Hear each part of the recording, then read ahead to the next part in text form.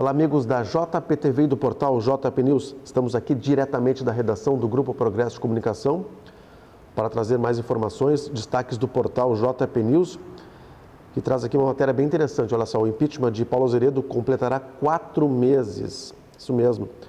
A matéria já está aqui, inclusive com a foto da sessão que caçou o ex-prefeito de Montenegro, né? É, foram cerca de seis horas de sessão, onde apenas eh, os vereadores José Alfredo Schmidt e Ari Miller votaram contrários ao processo. Né?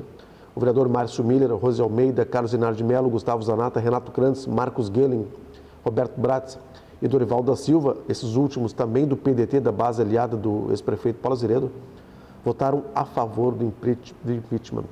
O processo teve como base sete infrações políticas administrativas apontadas no relatório final, apresentado pela comissão processante. Dentre elas, a mais polêmica, e foi aqui, acabou culminando com essa cassação, estava a construção da ciclovia no meio da rua Capitão Cruz, no centro de Montenegro. Todos os detalhes desse assunto você encontra aí no portal JP News e mais uma matéria de destaque aqui do nosso portal. Nós voltamos a qualquer momento com mais informações. Até mais.